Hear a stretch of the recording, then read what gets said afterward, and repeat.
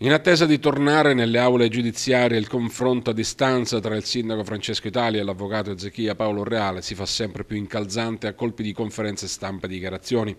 Hanno incrociato i guantoni e sull'ipotetico ring della politica cittadina se le stanno dando di santa ragione.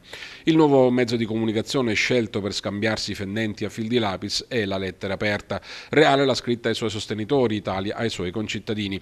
Entrambi nella sostanza provano ad abbassare i toni della polemica, ma finiscono entrambi per rinfocolarla. Comincia il Reale che di buon mattino ha diffuso uh, la sua lettera aperta con la quale intende porre in primo piano l'esigenza di legittimare l'operato dei giudici.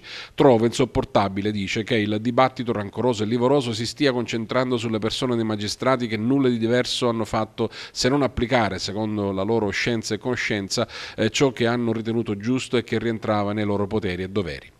Pronta la replica del Sindaco Italia. La decisione del TAR prima e del CGA dopo merito il massimo rispetto. Ho mantenuto un atteggiamento sereno e continuerò a farlo nonostante le continue provocazioni per il rispetto di quella fascia che con enorme orgoglio e a testa alta indosso e indosserò fino all'ultimo secondo in cui avrò la responsabilità e l'onore di farlo.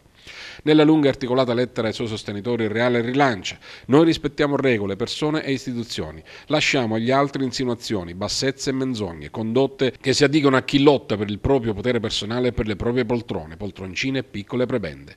Non le manda a dire il primo cittadino che così ribatte. Oggi, momento in cui il consigliere Zigher Reale cerca di accreditarsi come garante della democrazia col piglio di chissà quale supposta superiorità morale sua e dei suoi alleati, almeno di quelle ancora presentabili, è smentita da una continua violazione delle regole, anche quelle del ricorso al TAR. Resta solo l'enorme danno di immagine di una città patrimonio UNESCO e conosciuta in tutto il mondo, confusione dei cittadini e un'estenuante e svilente campagna elettorale priva di qualunque contenuto e di amore per la città che va avanti almeno dal 2018.